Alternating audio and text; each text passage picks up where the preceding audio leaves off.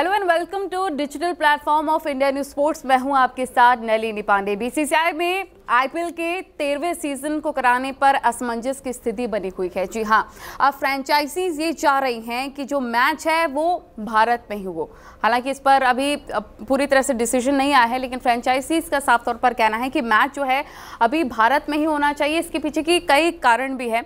उनका साफ़ तौर पर यह कहना है कि अगर मैच बाहर होते हैं तो फिर इसमें इमेज क्या जाएगी कि क्या भारत की स्थिति इतनी ज़्यादा ख़राब है कि मैच को बाहर कराना पड़ रहा है?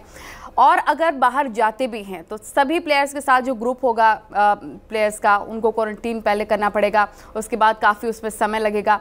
हालाँकि सारी जो चीज़ें हैं, जो रीजंस हैं, वो अभी बने हुए हैं, लेकिन जो चेयरमैन है बी के उनका साफ़ तौर पर कहना है कि अगर हालात सुधरते नहीं हैं इंडिया में तो फिर हो सकता है कि हम बाहर मैच कराएँ लेकिन अभी फ़िलहाल ऐसी स्थिति नहीं है।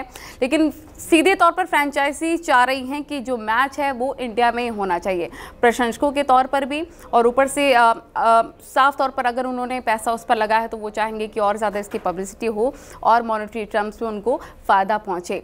तो सीधा तौर पर जो आईपीएल का तेरहवा सीज़न है वो बाहर होगा या फिर इंडिया में होगा क्योंकि न्यूजीलैंड श्रीलंका अभी पूरी तरह से कोरोना फ्री श्रीलंका को तो नहीं हुआ है, लेकिन न्यूजीलैंड अभी बताया जा रहा है कि पूरी तरह से कोरोना फ्री हो चुका है।